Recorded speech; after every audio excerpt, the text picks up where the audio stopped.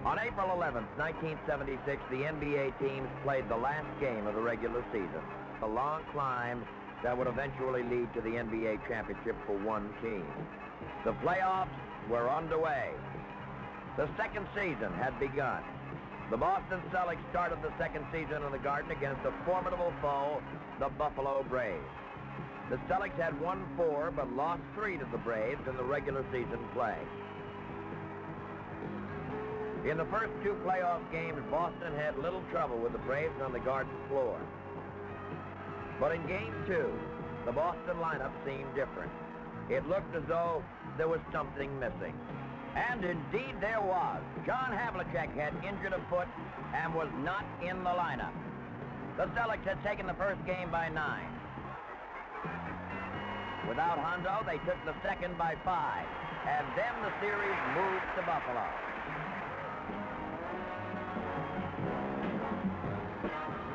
Buffalo won those two games to tie the series.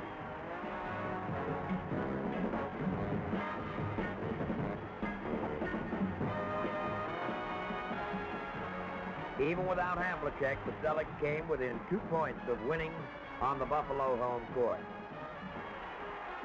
Boston took an 11-point victory in Game 5 and came back to the Buffalo Auditorium for a crucial Game 6 of the series.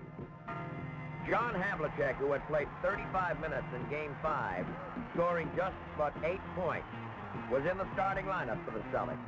The Boston starting five were playing their usual game, although John Havlicek, obviously unable to jump on his injured foot, was not getting his share of rebounds.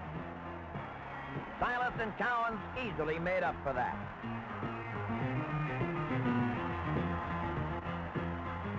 Hondo was playing his steady floor game that has pulled the Celtics out of many a tight situation. All through three quarters of play, McAdoo and Randy Smith were answering Boston charges with baskets of their own.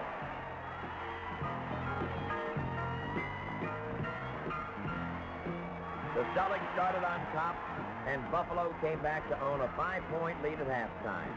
In the third quarter, it was Boston's fifth starter who came alive. Charlie Scott came on for Boston. At the end of the third quarter, the Braves had a one-point lead. A Charlie Scott jumper put the Celtics up by a point at the beginning of the fourth quarter. The Celtics fought to stay there.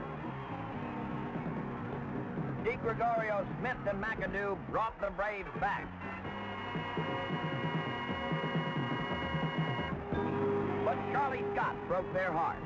Charlie scored nine Boston points in a row and hit on nine consecutive shots. It was what led up to Charlie's ninth point that broke the Braves' heart. A sensational steal that put the Celtics 10 points ahead with four minutes left in the game.